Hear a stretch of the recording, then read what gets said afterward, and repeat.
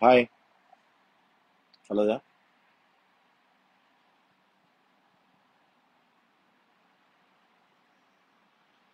ஹா எல்லாரும் எத்தி எல்லாரும் இருக்கா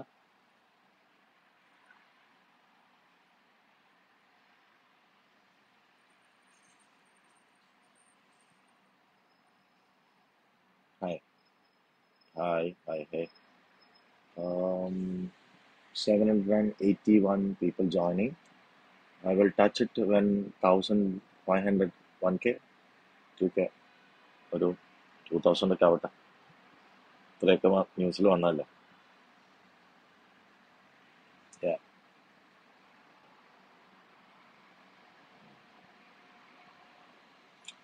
Oh two thousand okay so ഇന്ന് നിങ്ങളെല്ലാവരും അറിഞ്ഞിട്ടുണ്ടാവും ഒരു ന്യൂസ്.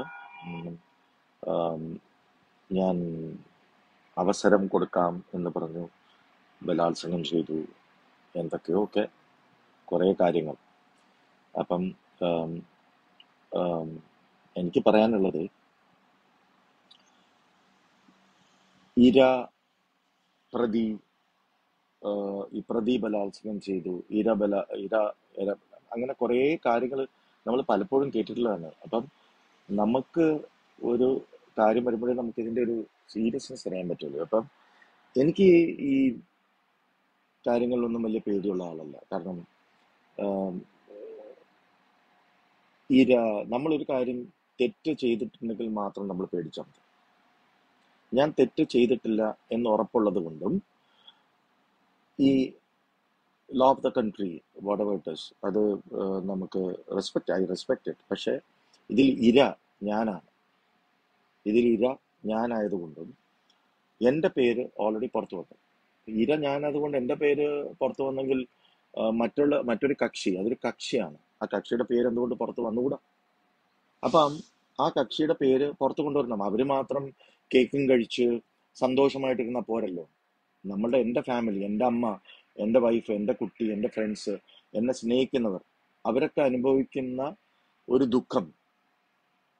ഈ ഇര എന്ന ഞാൻ അനുഭവിക്കുമ്പോൾ അപ്പുറത്ത് ഒരാൾ സുഖമായിരിക്കുന്നു. അതായത് നമ്മുടെ ഒരു ദ സോ കോൾഡ് ലോയുടെ പരിരക്ഷണത്തിൽ അവർ സുഖമായിട്ട് ഇരിക്കുന്നു എന്ന് പറയുമ്പോൾ അത് എവിടത്തെ ന്യായമാണ്? ഇത് എവിടത്തെ ന്യായമാണ്? അപ്പൊ ഞാൻ ഇതൊരു ഏഹ്, ഇതിന്റെ ഒരു സത്യാവസ്ഥ പറയാനായിട്ടാണ് ഇത് വിളിച്ചിരിക്കുന്നത്. ബിക്കോസ് ഈ ഒരു പരീക്ഷണ ഇവിടുത്തെ അതായത് ഈ എപ്പോഴും ഒരു ഇര ഉണ്ടാകുമ്പോൾ അതിന്റെ കൂടെ അട്ട ഉണ്ടാവുമല്ലോ. ഈ അട്ടകളാണ് ഈ ഇരയെ പരീക്ഷിച്ചുണ്ട്. ഈ അട്ടകളുടെ പേര് ഞാൻ പിന്നെ പറയാം.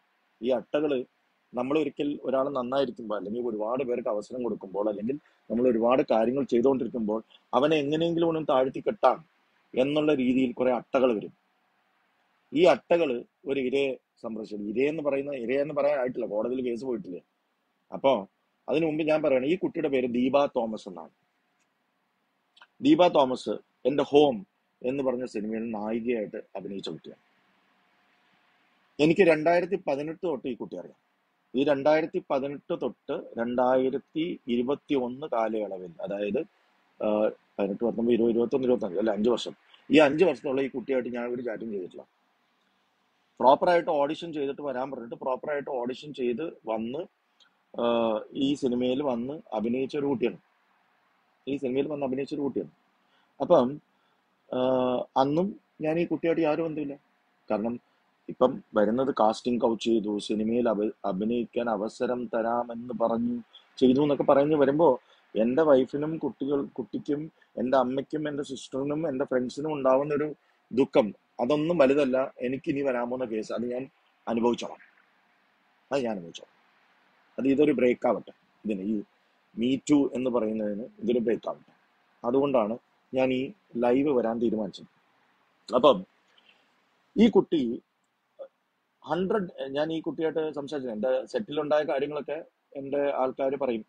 അത് കൺട്രോളർ തൊട്ടിങ്ങോട്ട് അതിന്റെ ആക്ടേഴ്സ് വരെയുള്ള ആൾക്കാർ ഉത്തരം പറയേണ്ടി വരും. ഈ കുട്ടിയായിട്ട് എനിക്ക് യാതൊരു ബന്ധമില്ല ആ സമയത്ത്. അതിന്റെ ഹൺഡ്രഡ് ഡേ സെലിബ്രേഷനിൽ ജോഷി സാറ് ഇതിന്റെ ട്രോഫി പിടിച്ചുകൊണ്ടിരിക്കുമ്പോൾ ഈ കുട്ടി വന്നില്ല. എന്ത് കൊണ്ട് വന്നില്ല എന്നറിയാൻ എനിക്കൊരു ആഗ്രഹം ഉള്ളതുകൊണ്ട് ഞാൻ ഈ കുട്ടിയെ വിളിച്ചു.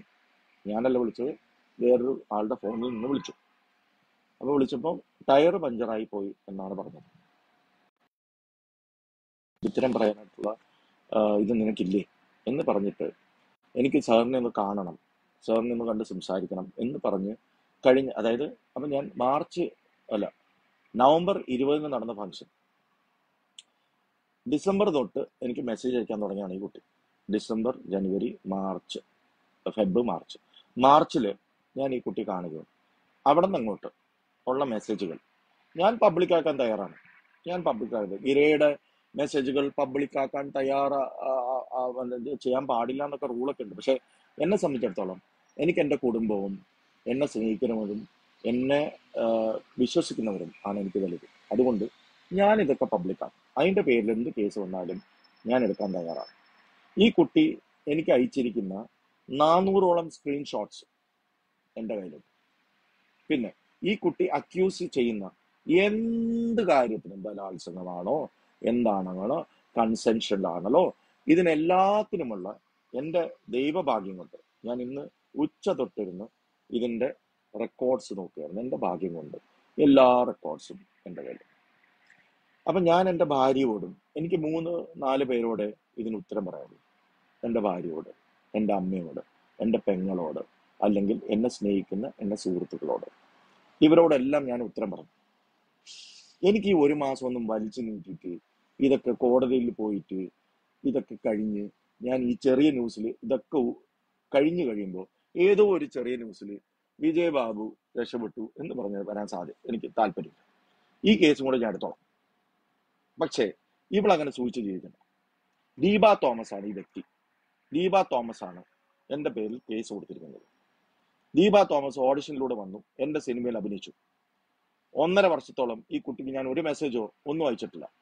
ഇവർക്ക് ഡിപ്രഷൻ ആണെന്ന് പറഞ്ഞ് എന്നെ കാണാമെന്നാണ്. അതിനുശേഷം ഇവർ അയച്ചിരിക്കുന്ന എല്ലാ മെസ്സേജുകളും എന്റെ കയ്യിലുണ്ട്.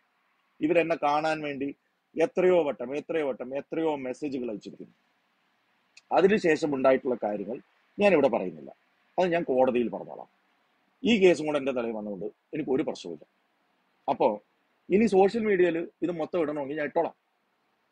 പക്ഷേ അതിനുശേഷം അവരുടെ ഫാമിലിക്കും അവരുടെ ബന്ധുക്കൾക്കും ഉണ്ടാവുന്ന ദുഃഖം ഓർത്ത് ഞാൻ അത് വിടുന്നില്ല. തൽക്കാലം അത് അവിടെ നിൽക്കട്ടെ. അതുകൊണ്ട് ഇവിടെ ഇര ഞാനാണ്. ഈ കുട്ടി അങ്ങനെ സുഖിച്ച് വെറുതെ വേറൊരു ഇരയെ ക്രിയേറ്റ് ചെയ്ത് ഈ അങ്ങനെ അങ്ങോട്ട് തമാശക്ക് പോകണ്ട. അതിനു വേണ്ടിയിട്ടാണ് ഈ ലൈവ് എല്ലാവരും ശ്രദ്ധിക്കുക. ഞാൻ ഓക്കെയാണ് ഞാൻ ഇതിന് കൗണ്ടർ കേസ് ഫയൽ ചെയ്യും. ഇതിന് ഡിഫമേഷൻ ഫയൽ ചെയ്യും. ഇത് ഡിഫമേഷൻ എന്ന് പറയുന്നത് ചെറിയ ലെവലിലായിരിക്കില്ല ഇവരും ഇവരുടെ ഫാമിലിയും ഇതിന് പുറകിൽ നിന്നിട്ടുള്ളവരുമായിട്ടുള്ള എല്ലാവരും ഇതിന് ഉത്തരം പറയേണ്ടി വരും. ഞാൻ വെറുതെ വിടാൻ ആലോചിക്കുന്നില്ല. ഇത് ഈ മീറ്റുവിന് ഒരു പുതിയ ചാപ്റ്റർ ആവട്ടെ. കാരണം ഇരയുടെ പേര് പറയാൻ പാടില്ല. അങ്ങനെ ഒക്കെയുള്ള കുറേ ലോസ് ഉണ്ടല്ലോ. ഇവിടെ ഞാൻ ഇരയായതുകൊണ്ടും ഇവർ ഇരയല്ലാത്തത് കൊണ്ടും ഞാൻ ആ പേര് പറയുകയാണ്. ലെറ്റ് സി നമുക്ക് ഫൈറ്റ് ചെയ്യാം. കാണാം. എല്ലാത്തിനും ഒരു തുടക്കം കുറിച്ച ആളെന്ന നിലയിൽ ഞാൻ ഇതിനും തുടക്കം കുറിക്കുകയാണ്. എന്റെ കൂടെ നിൽക്കുന്നവർക്കും എന്നെ മെസ്സേജ് അയച്ചവർക്കും എല്ലാവർക്കും നന്ദി നമസ്കാരം. Thank you